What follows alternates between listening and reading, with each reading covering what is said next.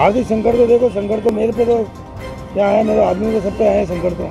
जब मेरे पे संकट आएगा मेरे जो काम करने वाले उस पर तो आएगा आएगा संकट उन लोगों को ज़्यादा संकट आया बीस वक्त के अंदर। फिर हम सहायता करते हैं जाते होती है। नुकसान तो बहुत ज़्यादा, मैंने कहा ना भी लॉकडाउन से यहाँ दो लाख का नुकसान हो हम लॉकडाउन से लेकर के अभी तक, एक आगे दो लाख का नुकसान हो गया लगातार दूसरे साल कोरोना प्रोटोकॉल के चलते नवरात्र में फूल माला बेचने वालों पर गहराए आर्थिक संकट।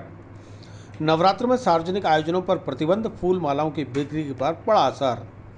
कोरोना का प्रभाव आम जनजीवन में भले ही थोड़ा कम हो गया हो, लेकिन सरकारी नोटिफिकेशन और प्रोटोकॉल के चलते लगाई गई पाबंदियों का असर आम जनजीवन पर आर्थिक संकट पैदा कर रहा है। लगातार दूसरे साल त्योहारों व धार्मिक सार्वजनिक आयोजनों पर प्रतिबंध लगाए जाने से इन आयोजनों से जुड़े आजीविका कमाने वाले हज़ारों लोग इस बार भी मायूस हैं। शारदीय नवरात्र के दौरान नौ दिनों तक मंदिर और घरों में माता की घट स्थापना की गई है, लेकिन सार्वजनिक आयोजन और पांडालों में माता की मूर्तियाँ विराजित नहीं की गई। वहीं आगामी दशहरा और दीपावली पर भी प्रतिबंध की गाज गिरी हुई है। मेलों के आयोजन नहीं हो रहे, भगवान को फूल माला पुष्प अर्पित नहीं किए जा रहे।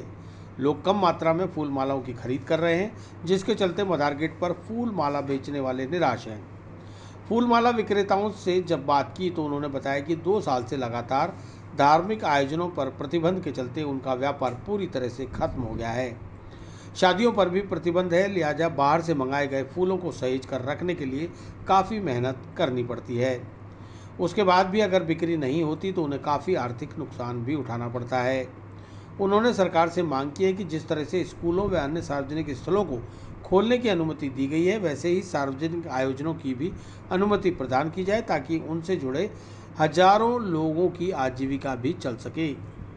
ऐसा सर फूलों का सीज़न तो चलता हुआ कि चल नहीं रहा। क्योंकि कोरोना की कोरोना की वजह से इतना पब्लिक परेशान हो गया कि ना तो फूलों का सीज़न चल रहा, अब कस्टमर आ नहीं रहे और एक लॉकडाउन की वजह से जो मंदिरों में लॉक लग गए थे, उसकी वजह से तो काफ़ी परेशानी हो रही है।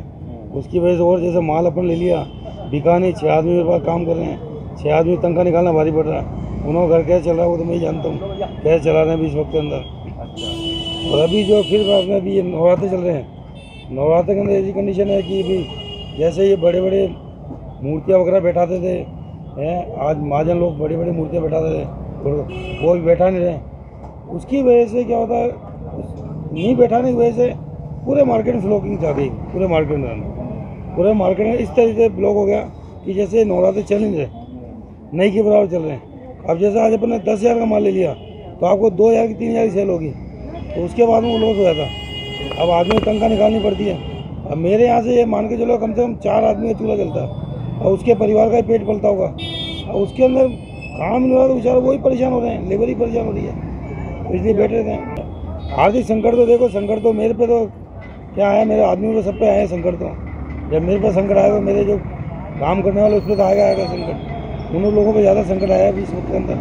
फिर भी हम सहायता करते हैं जाते होती है। नुकसान तो बहुत ज़्यादा मैंने कहा ना भी लॉकडाउन से दो लाख का नुकसान हो गया लोग लॉकडाउन से लेकर के अभी तक एक साल में दो लाख का नुकसान हो गया हमारे मालियों की दुकानें कम से कम देख लो कम से कम पचास साठ दुकान है। पचास साठ आदमी कम से कम ये देख लो कम से कम कम से पचास लाख का नुकसान हो गया सब अगर साल हो गया सबका लगा हुआ सर भाई सबका लगा एक एक आदमी एक एक आदमी हुआ दो दो आदमी है वैसा किसी चार आदमी किसी पाँच आदमी अब बेचारे तनख्वाह कहाँ से देवे इसलिए परेशान मजबूर हर आदमी हो चुका मतलब इतना मजबूर हो गया ये तो क्या पता हमारे मरने के बाद ही खुलेगा ये मार्केट। या कब क्या होगा कोई कोई कुछ नहीं शादी ब्याह के अंदर ऐसा हुआ शादी ब्याह पहले सोचा शादी चलेगी। अब शादी ब्याह आते आदमी आदमी जैसा पचास आदमी जाओ। तो पचास आदमी के बेचारे कैंटीन से कर जाना। उम्मीद है शादी में आपको शादी आने वाली शादियों में देखो उम्मीद तो आदमी आप व्यापारी आदमी क्या होता है उम्मीद लगा के बैठा था उम्मीद लगा के बैठता हो गया ठीक नहीं तो फिर बहुत रोना का रोना वापस। अच्छा तो किस तरह से इन्हें फूलों को बर्फ़ में इनमें रखना पड़ता है बच्चों देखो फूलों को बर्फ़ के अंदर गुलाब को हमेशा बर्फ़ के अंदर रखनी पड़ती है। उसको फ़िलहाल बाहर से आते हैं उनको पानी के अंदर रखना पड़ता है। जैसे बाहर के फ़िलहाल आते हैं उनको पानी के अंदर रखना पड़ता है। और कुछ होता है जिनको पानी में छीटा भी लगना पड़ता। है उसको वैसे ही रखना पड़ता है। इस तरीके माल रखना पड़ता है। उसका अंदर नहीं बिका तो खराब हो जाता है। फिर फेंकना ही पड़ता है उसी माल को। अच्छा इतना बचा इतना करने के बावजूद भी माल खराब हो जाए तो भाई किस तरह से दुख होता होगा? देखो जितना करने के बाद माल का दुख तो इस वजह से हो जाता है कि जैसे आज आज अपन इतना माल लिया और एक क्वान्टी मानो दो हज़ार का माल लिया अपन पाँच हज़ार ग्राम लगा। फिर आदमी शाम को जाके हताश हो जाता। आठ नौ बजे बाद में हताश हो जाता है कि यार अपने इतना आदमी तंगा निकालते अब इस माल का क्या करें? उस टाइम हताश होता आदमी। दिन को हताश नहीं था। दिन को तो आस रहती है अभी ग्राहक लगेगा लगेगा लगेगा। शाम होता तो आदमी हताश हो जाता। फिर बाद में परेशानी हो जाती है फिर संकट गिराने लगता उसको। नवरात्रों में मालाओं की बिक्री होती थी और अब किस तरह से? अब पहले तो खूब होती थी आते मंदिर में जाते थे लोग बाग। आस पास दो मंदिर बने हुए हैं माता जी का चामुंडा जी का इधर सब तरफ़ है। सब जगह लोग बाग माला एक एक तो लेके जाते। आज कोई भी नहीं है दिखाई नहीं दे रहा मार्केट में। तो एक तो मिले वो ला के रोज के है कम से कम दस बारह किलो तो रोज फेंकने पड़ते हैं। बिक जाते तो ठीक है वो नसीब है रोजी रोटी मिल जाती नहीं तो वो भी नहीं है। हाँ जी अट्ठारह दुकानें हमारे वहाँ से लेके आते हैं। हाँ जी ये क्या जो मिलता भगवान ऊपर वाला देता जो बाकी का तो कोई भरोसा नहीं। सब बंद हो गया साहब और जो पहले सजावट होती वो सवाई बंद हो गई न कोई भी नहीं आता माला लेने। सबसे बड़ी चीज़ तो ये है। और मार्केट अभी आप देख लीजिए खाली पड़ा कोई भी नहीं है। ना आता है कोई माला लेने। अच्छा आजकल पहले तो क्या, चलो, कोई बात नहीं, दुकानें नहीं खुली थी। अब तो कम से कम एक हज़ार दुकानें नहीं और खुल चुकी है। हर मंदिर, मस्जिद पे बैठा हुआ दुकान लेके। अब कोई भी इधर आता ही नहीं है। ये मेन मार्केट है और ये फिर गाड़ी, घोड़े सब अटक जाते हैं गाड़ी में।